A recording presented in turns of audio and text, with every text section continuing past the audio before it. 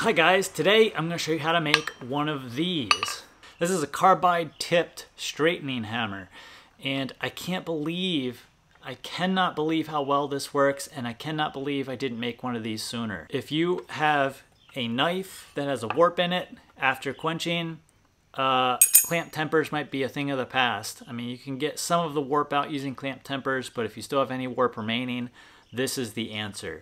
I'm going to show you how to make this. These are extremely simple to make. I'll leave links to everything that I used to make this in the description.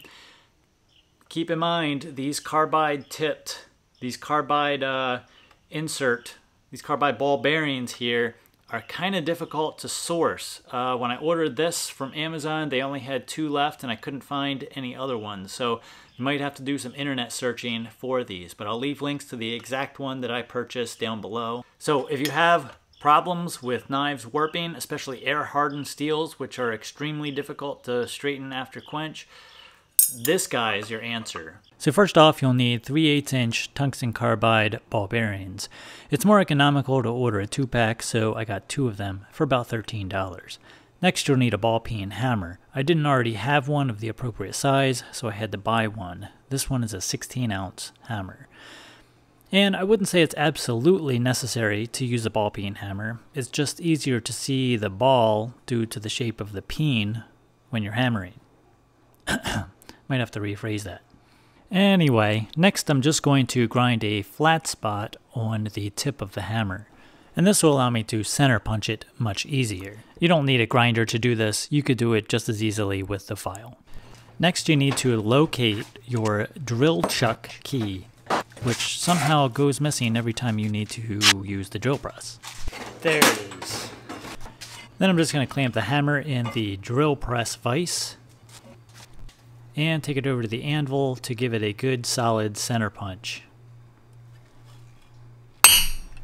Now we're going to use a 3 8 inch drill bit to drill the hole for the ball bearing. You're going to need a quality drill bit for this, one that's designed to drill through hardened steel. If I can find it, I will leave a link to the exact drill bit I used down below. When you're drilling, drill this slow. Use an oil if you have to. Do not overheat the tip of the drill bit. That's what ruins drill bits, is overheating them. So go slow, use oil, keep the drill bit cool. Now my idea behind keeping the ball bearing in place is to drill a hole slightly deeper than the diameter of the ball bearing. Then use a punch to bend over the edges, keeping the ball in place.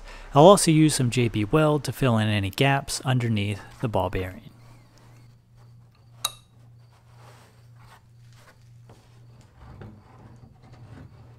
It was actually so good I couldn't get the ball bearing back out without some trouble, even without epoxy or bending over the edges.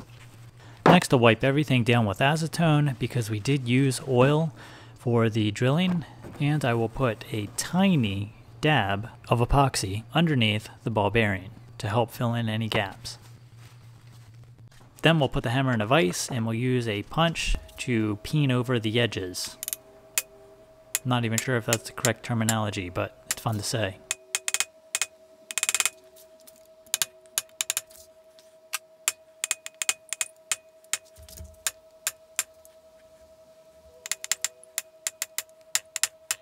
And we'll let it set overnight.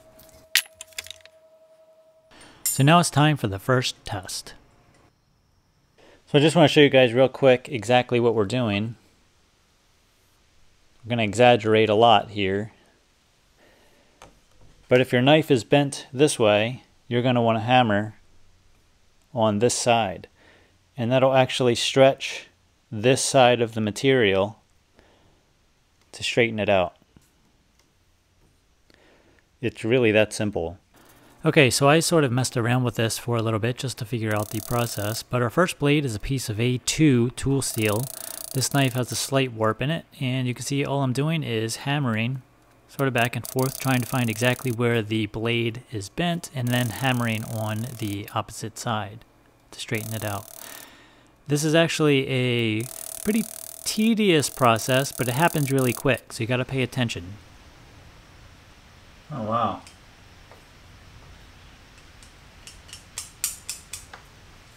Might have actually uh, gone a little bit too much. It's actually very easy to hammer too much on the one side and warp it back in the other direction. So you may have to work it back and forth until you figure it out. That actually worked really well. It's amazing.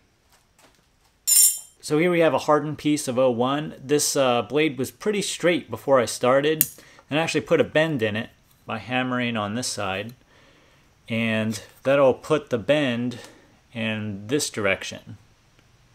So in order to straighten it, we need to hammer on this side. So you want to hammer on, so if your blade is curved like this, you hammer on this side and it'll stretch the piece of material in this direction.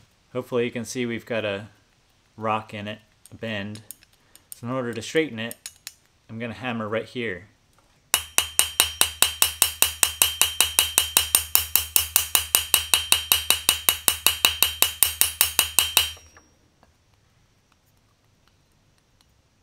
And actually, just that little bit took most of it out.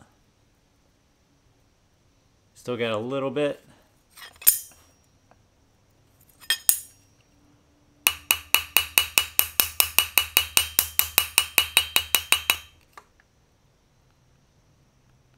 look at that, we're straight again. That's amazing. So this is what the hammer does to the surface. The idea is to do this process right after quenching, and you can then remove all of the dimples when you finish grinding the bevels and the flats, leaving you with a perfectly straight blade. So I think some of you are going to be asking where this tool fits in with the rest of the blade straightening tools such as clamp tempering and so on and so forth. Uh, this is going to straighten just about any hardened steel. This is O1. The other piece we're using is A2. Um, especially with air hardening steels, it can be really difficult to straighten an air hardened steel after it's already hardened. A lot of times you just can't do it in the temper. I had a piece recently, it was a piece of CPM M4 that warped so bad on me. Well, it wasn't so bad. It was it was very bad for a plate quench and I could not straighten it. I actually broke it in half trying to straighten it and this tool would have saved that night. I mean, I think that this tool is going to be worth its weight in uh, in gold here because it's going to save a lot of warped blades from the trash bin. Anyway, I can't believe how well this works and how quickly it works and how easy it works. I mean, I thought I was going to have to kind of manipulate it back and forth a bunch of times and but no, I mean, I think it's easy to overdo it, meaning that you can hammer it too much and actually warp it in the other direction. So I think less is more, check it often, and it seems like it works extremely well. And again, I am shocked at how well this works. If you're thinking about making one of these, I'll leave links to all of the, uh, the stuff I use to make this down in the description. Anyway, hope this video helps, and we'll see you in the next one. Really looking forward to use this. Found it. Oh, that's not it. Yeah.